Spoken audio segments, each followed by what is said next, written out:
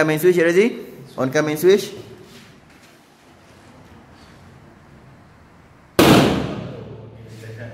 Okey, kuat eh. Itu litar pintas.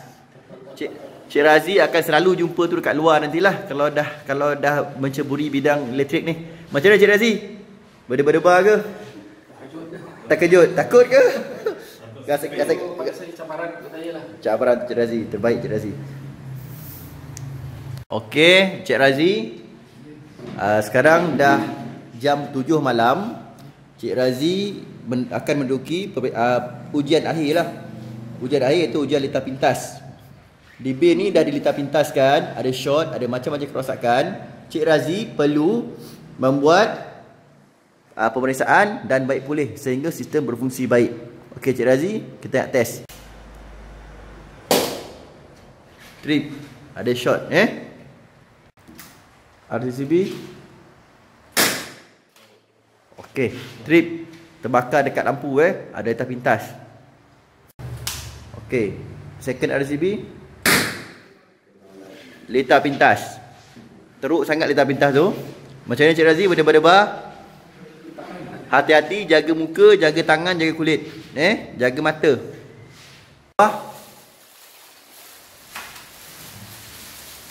Tak boleh. Okey, cuba on balik nak tengok. On. Lagi. Trip. Okey, ada shot.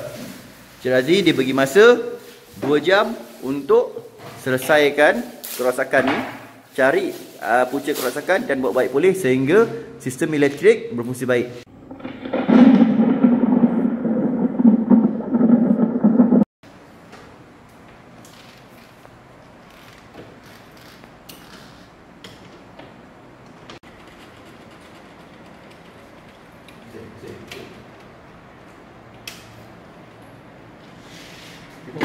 Ibu makan.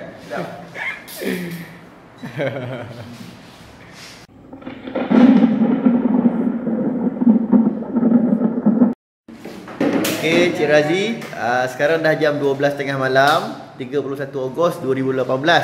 Merdeka lah. Uh, merdeka ke-61 kan? Uh, Okey Cik Razi, kita nak tengok Cik Razi merdeka tak dekat dalam kelas ni. Kalau tak merdeka, tak boleh balik lah. Uh, Okey, kita test Cik Razi. Uh, on kan semua. Meletup lagi tak?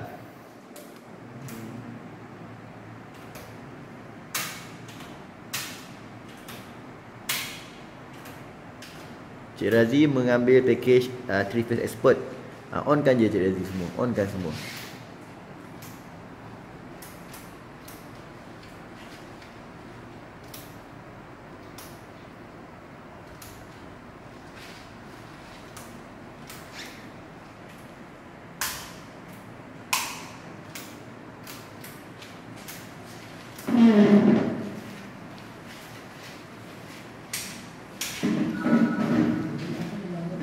Alhamdulillah dah tak trip. Maksudnya berjaya lah tu kan. Lab semua dah test okey. Cantik. Uh, 3 jam eh. 3 jam lebih. 3 jam setengah ada. 3 jam setengah 3 jam. Jam setengah. Okey, 3 jam setengah telah berjaya mencari punca kerosakan, membuat troubleshooting dan repair sehingga uh, sistem wiring berfungsi baik. Macam mana cari susah ke?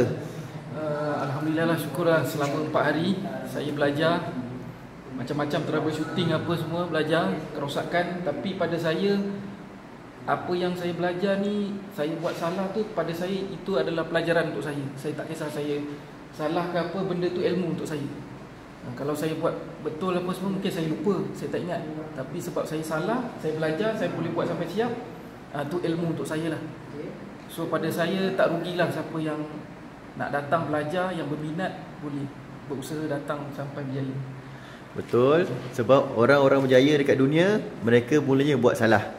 Hanya orang yang buat salah saja akan jumpa jalan yang betul dengan lebih cepat. Bukan Cik Amir, tahniah atas kejayaan. Selamat maju jaya. Terbaik Cik Amir. Ya, Cik Razi terbaik.